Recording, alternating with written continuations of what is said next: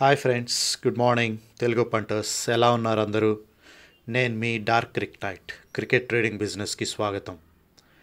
మన ఛానల్లో ఉన్న ప్రీవియస్ వీడియోస్ అందరూ చూశారనుకుంటున్నాను ఫ్రెండ్స్. ఒకవేళ చూడకపోతే ప్లీజ్ అందరూ అవి ఒకసారి చూడండి. మీకు మంచి నాలెడ్జ్ గైడెన్స్ దొరుకుతుంది.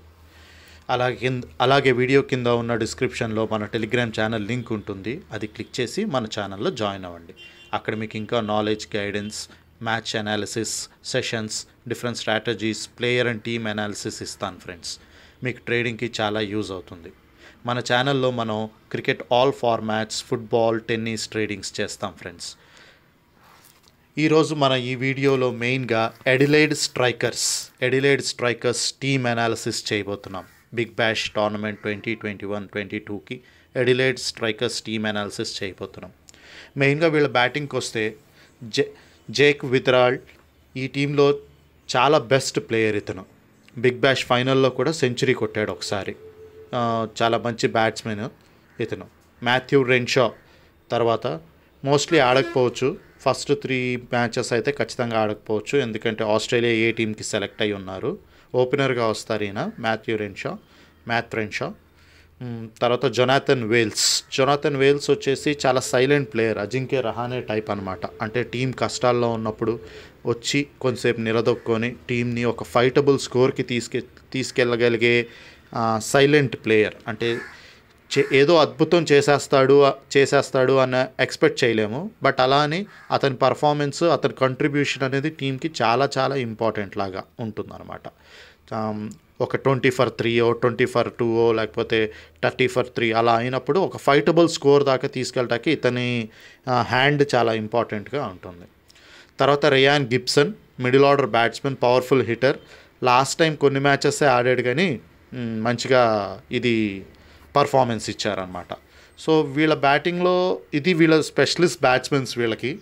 వీళ్ళ బ్యాటింగ్లో నాకు అనిపించింది ఎందుకు వీళ్ళు అంత స్ట్రాంగ్గా ఉండకపోవచ్చు ఈ టోర్నమెంట్లో లేకపోతే కాంపిటీషన్లో అంటే ఒక మంచి ఇంటర్నేషనల్ బ్యాట్స్మెన్ అనేవాళ్ళు మిస్ అవుతున్నారు అని అనిపించింది ఈ టీంకి ఒక స్ట్రాంగ్ బ్యాటింగ్ ఆధారం అనేది లేదేమో దీనికి. వీళ్ళు ఎక్కడైనా ఒక మంచి బ్యాట్స్మెన్ని కనుక తెచ్చుకోగలిగితే ఇంటర్నేషనల్ స్టాండర్డ్స్లో ఉన్న ఒక మంచి బ్యాట్స్మెన్ని తెచ్చుకోగలిగితే వీళ్ళ బ్యాటింగ్ స్ట్రెంగ్త్ ఇంకా పెరుగుతుంది అని నా ఉద్దేశం. అందుకే దీన్ని మన టాప్ ఫోర్లో మనం డిస్కస్ చేయలేదు.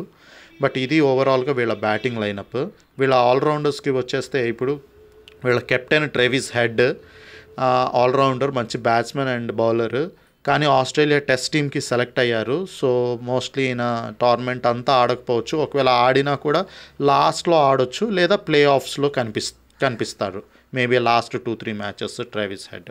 Okay తర్వాత వీళ్ళకి ఉన్నది Liam Scott Matthew Short. Matthew Short అనే అతను ఆఫ్ స్పిన్నర్ కొంచెం హైట్ ఎక్కువ ఉంటారు. మంచి బౌన్స్ దొరుకుతుంది ఇతనికి. పిచ్ నుంచి మంచి బౌన్స్ తీస్తారు. మిచ్చల్ శాంట్నర్ లాగా అనమాట చాలా హైట్ బౌలర్ మంచి బౌన్స్ తీస్తాడు. బ్యాటింగ్ కూడా బాగా చేస్తాడు ఇతను.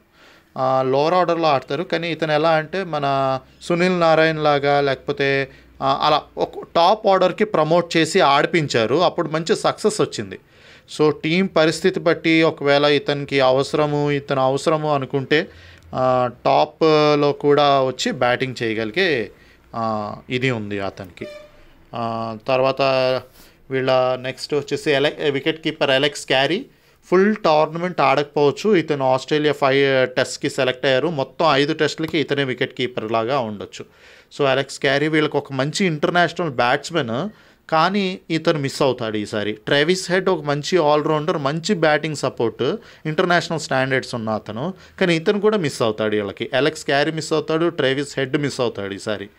సో అందుకని నాకు తెలిసి వీళ్ళకి ఒక బ్యాటింగ్ కొంచెం వీక్ అవుతుంది అని నాకు అనిపిస్తుంది. దాన్ని వీళ్ళు కనుక ఒక మంచి బ్యాట్స్మెన్తో కవర్ చేసుకోగలిగితే వీళ్ళు కూడా మంచి స్టార్స్ మన టాప్ ఫోర్లో స్టార్స్ పెర్త్ స్కాచర్స్ తర్వాత Sydney Sixers Hobart Hurricanes top three. Stars మనం ఫోర్త్లో పెట్టుకున్నాం కదా వాళ్ళతో వాళ్ళని వీళ్ళు బీట్ చేయాలంటే ఫోర్త్ పొజిషన్కి వచ్చి మంచిగా వీళ్ళని బీట్ చేయాలి అనుకుంటే వీళ్ళకి ఒక మంచి ఇంటర్నేషనల్ స్టాండర్డ్స్ ఉన్న మంచి బ్యాట్స్మెన్ ఒకళ్ళు కావాలి. సో అది ఫ్రెండ్స్ వీళ్ళ దగ్గర మిస్ అవుతుంది అనిపిస్తుంది నాకు. చూద్దాము. ఎవరినైనా మంచి బ్యాట్స్మెన్ వీళ్ళు ఎంగేజ్ చేస్తారేమో. So Alex Carey wicket keeper అతను ఫుల్ టోర్నమెంట్ అవైలబుల్గా ఉండకపోవచ్చు. కా అందుకని వీళ్ళకి సెకండ్ వికెట్ కీపర్గా ఉన్నది హ్యారీ నీల్సన్ ఇతను ఒక left hand batsmen okay okay okay మంచి బ్యాటింగ్ చేసేస్తారు. పర్వాలేదు. అంటే అలెక్స్ క్యారీ ఉన్నంత వరకు అలెక్స్ క్యారీ ఉన్నంత వరకు వీళ్ళకి అతని అవసరం రాలేదు. బట్ ఇప్పుడు చూడాలి. ఎలా పర్ఫామ్ చేస్తారో చూద్దాం వీళ్ళని. తర్వాత వీళ్ళ బౌలింగ్కి వచ్చేస్తే వీళ్ళ ఫాస్ట్ బౌలింగ్కి వచ్చేస్తే పీటర్ సిడిల్ మీ అందరికీ తెలిసిన అతనే ఆస్ట్రేలియన్ ఇంటర్నేషనల్ రిప్రజెంటేషన్ చేశారు. ఆస్ట్రేలియాకి ఇంటర్నేషనల్ మ్యాచెస్లో రిప్రజెంట్ చేశారు. రిటైర్ అయిపోయారు పీటర్ సిడిల్. చాలా మంచి బౌలర్ తర్వాత వెస్ అగార్ ఇతని ఈ టీంకి చాలా బాగా పర్ఫామ్ చేస్తూ వచ్చాడు. ఇతను లాస్ట్ సీజన్స్లో కూడా చాలా అడిలైడ్కి చాలా మంచి బౌలర్ ఇతను.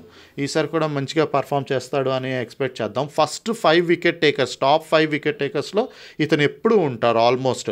మంచి వెరైటీస్ ఉంటాయి. ఈయన మంచి వెరైటీ బౌలర్ అంటే fast one in swing out swing slower ones bouncers varieties అన్నీ మంచిగా యూస్ చేస్తారు ఈయన వెస్సాగార్ సో అది పీటర్ సిడిల్ మీకు ఆల్రెడీ చెప్పాను. తర్వాత మీకు వచ్చేసి డానియల్ ఓరల్. ఇతను కూడా చాలా మంచి బౌలర్. సో ఇతను యాక్చువల్గా స్టార్స్ నుంచి ఆడేవాడు. స్టార్స్ నుంచి ఇతను డానియల్ ఓరల్ ఇప్పుడు ఇక్కడికి షిఫ్ట్ అయ్యారు. మరి చూడాలి ఈసారి ఎలా పర్ఫామ్ చేస్తారో. అది వీళ్ళ బౌలింగ్ లైనప్. తర్వాత వీళ్ళ స్పిన్నర్స్ వచ్చేసి మనకి ఫవాద్ అహ్మద్. ఆయన గురించి స్పెషల్గా చెప్పక్కర్లేదు. అన్ని చాలా చాలా టోర్నమెంట్స్ కూడా ఆడుతూ ఉంటారు. ఈయన పర్త్ నుంచి వచ్చారు.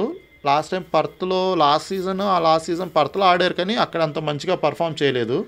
సో చూడాలి మరి ఈసారి ఎలా పర్ఫామ్ చేస్తారో ఇక్కడ. ఫవాద్ అహ్మద్.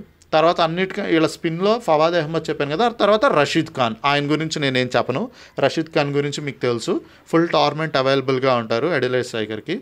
Powerful hitter. చాలా మంచి వేరియేషన్స్ ఉన్న బౌలరు. సో రషీద్ ఖాన్ వదిలేసేయండి. ఆయన గురించి నేను ఎక్కువ మాట్లాడను. తర్వాత లియామో కార్నర్. లియామో కార్నర్కి ఆయన కూడా లెగ్ స్పిన్నరే. కాకపోతే వీళ్ళ స్పిన్ ఎలా అంటే ఇప్పుడు ఇంకా మీకు రషీద్ ఖాన్ ఉండి ఫవాద్ అహ్మద్ ఉండి తర్వాత మీకు ఇంకా అలాంటివి ఉన్నప్పుడు లియామ్ కార్నర్ లియామో కార్నర్కి దొరుకుతుంది అని నేను అనుకోవట్లేదు. ఎందుకంటే ట్రావిస్ హెడ్ కూడా ఇంతకుముందు ఆడేవాళ్ళు కాబట్టి లియామో కార్నర్కి ఎక్కువ ఛాన్సెస్ రాలేదు. సో మోస్ట్లీ ఈసారి కూడా రాకపోవచ్చు అని అనుకుంటున్నాను. వీళ్ళ టూ త్రీ స్పెషలిస్ట్ స్పిన్నర్స్ ఉన్న తర్వాత ఇంకా అలా పార్ట్ టైం స్పిన్నర్కి ఛాన్స్ దొరుకుతుందని నేను అనుకోవట్లేదు. సో వీళ్ళ బౌలింగ్ లైనప్లో మనకి వెస్ అగార్ కనపడతారు పీటర్ సిడిల్ కనపడతారు డానియల్ ఓరల్ కనపడతారు రషీద్ ఖాన్ కనపడతారు తర్వాత ఫవాద్ అహ్మద్. తర్వాత ఇంకా మెయిన్ ఇంకో వీళ్ళ దాంట్లో ఇంకొక మంచి ఆల్రౌండర్ ఆర్ బౌలర్ అనుకుంటే గార్టన్. ఇతను ఇంగ్లాండ్ ఇంగ్లాండ్కి రిలేటెడ్ ప్లేయర్ ఇంగ్లాండ్ కంట్రీకి ఇంగ్లీష్ కంట్రీకి ససెక్స్ టీమ్కి ఆడేవాళ్ళు ఈయన ఈయన ఇంగ్లాండ్కి వైట్ బాల్ స్పెషలిస్ట్గా కూడా కొన్ని మ్యాచెస్ రిప్రజెంట్ చేశారు స్పెషలిస్ట్గా లెఫ్ట్ హ్యాండ్ బ్యాటింగ్ చేస్తారు మీడియం పేసర్ చాలా మంచి హార్డ్ హిట్టర్ అనమాట ఈయన.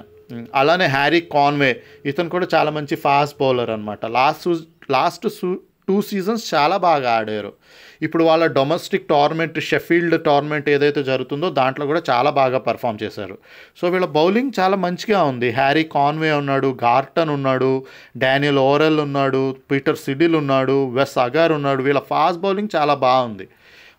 మరి వీళ్ళ స్పిన్ బౌలింగ్ కూడా okay Fawad Ahmed is good తర్వాత మీకు Rashid Khan is good so వీళ్ళు పర్వాలేదు. సో స్పిన్నర్స్ కూడా పర్వాలేదు.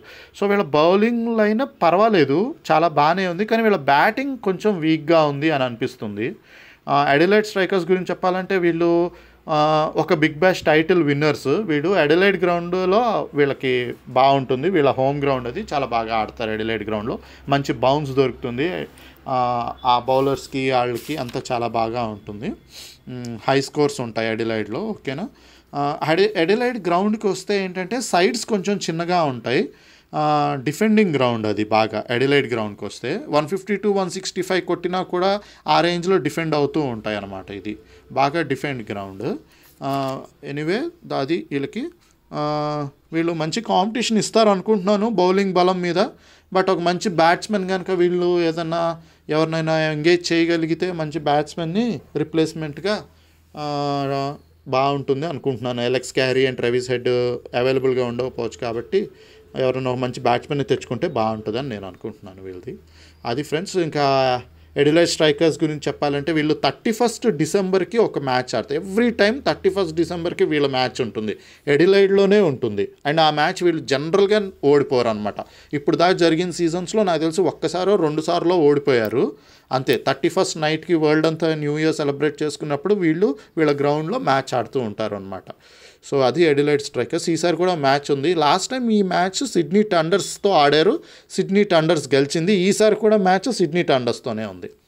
సో థర్టీ ఫస్ట్ డిసెంబర్కి వెయిట్ చేయండి. ఎడిలైట్ స్ట్రైకర్స్ మ్యాచ్కి. సిడ్నీ టండర్స్తో మళ్ళీ వీళ్ళు బదులా తీర్చుకుంటారా లేదా చూద్దాం. సో అది ఫ్రెండ్స్ ఈరోజు మ్యాచ్ వచ్చేసి మనకి రెనిగేట్స్తో ఉంటుంది. Docklands stadium. అది మెలబర్ రెనిగేట్స్కి హోమ్ గ్రౌండ్. కొంచెం fifty fifty type of ground. చేస్కి and first బ్యాటింగ్కి ఇద్దరికి సపోర్టింగ్గా ఉండే గ్రౌండ్ అది. ఫస్ట్ సిక్స్ అవర్స్ చాలా బాగుంటుంది. బాల్ మంచిగా వస్తుంది బ్యాట్ మీదకి. బట్ బాల్ పాతగా అయ్యే కొద్దీ అంటే మ్యాచ్లో మ్యాచ్ ఓవర్స్ అయ్యే కొద్దీ వికెట్ స్లో అయిపోతూ ఉంటుంది. బ్యాట్ మీదకి అంత ఈజీగా రాదు. సో ఫస్ట్ సిక్స్ ఓవర్స్లో ఆడినంత బాగా తర్వాత ఆడటం కష్టం అవుతుంది. స్ట్రైట్ బౌండరీస్ చాలా పెద్దవి. దీని యావరేజ్ స్కోర్ వచ్చేసి ఫస్ట్ ఇన్నింగ్స్ యావరేజ్ స్కోర్ వచ్చేసి దీంట్లో వన్ సెవెంటీ ప్లస్ ఉంటుంది అనమాట ఓకేనా ఫ్రెండ్స్? సో అది. అది ఫ్రెండ్స్ సో ఇంకా మీకు అది ఎడిలైట్ స్ట్రైకర్స్ గురించి ఈరోజు అనాలిసిస్ మీకు చెప్పేశాను. సో ఓకే చూడండి. మనకి బ్రిస్బెయిన్ హీట్ అండ్ మె మెల్బర్న్ రెనిగేట్స్ కొంచెం అంత మంచిగా అనిపించట్లేదు. ఆ, ఆ రెండు టీమ్స్కి ఎప్పుడు సపోర్టింగ్గా ఎక్కువ ఆడకండి. Adelaide Strikers Perth Scorchers Hobart Hurricanes Sydney Thunders మంచిగా ఉంది. కానీ మెల్బోర్న్ స్టార్స్ కూడా మంచి టీమే బట్ లాస్ట్ టైం చాలా బ్యాడ్గా పర్ఫామ్ చేశారు. చూడాలి. మెల్బోర్న్ స్టార్స్ ఎలాంటి టీం అంటే ఆర్సీబీ లాంటి టీం ఫ్రెండ్స్. అంటే లైక్ గెలిస్తే ఇంకా స్ట్రైట్గా గెలుస్తారు లేదంటే చాలా ఎక్స్పెక్టేషన్స్ తీసుకొని బాగా ఇది చేసేస్తారు. బ్రిస్బెన్ హీట్ వచ్చి రాజస్థాన్ రాయల్స్ లాంటి టీం ఎక్కువ ఎక్స్పెక్టేషన్స్ పెట్టుకోకండి టీం మీద. ఓకేనా? సో అది ఫ్రెండ్స్ డన్. ఈ వీడియోలో మరి మీకు ఎడిలైట్ స్ట్రైకర్స్ గురించి కొంత డాక్లాండ్ స్టేడియం గురించి చెప్పాను. తర్వాత కొంచెం ఎడిలైడ్ గ్రౌండ్ uh, గురించి కూడా చెప్పాను. ఎడిలైట్ టీం uh, గురించి మాట్లాడాం కాబట్టి. సో అది ఫ్రెండ్స్ ఈ వీడియోలో మీకు అవన్నీ చెప్పాను. Hmm. ఇంకా డిస్క్రిప్షన్లో మన టెలిగ్రామ్ ఛానల్ లింక్ ఉంటుంది. అది క్లిక్ చేసి టెలిగ్రామ్ ఛానల్లో జాయిన్ అవ్వండి. మీకు ఇంకా కొంచెం ఇంకా కొన్ని మంచి స్ట్రాటజీస్ టెక్నిక్స్ చెప్తాను. ఇంకా చెప్తాను. ఓకేనా ఫ్రెండ్స్ రైట్ గుడ్ మార్నింగ్ అందరికీ మంచిగా ఉండండి. హ్యాపీగా ఉండండి. Take care friends bye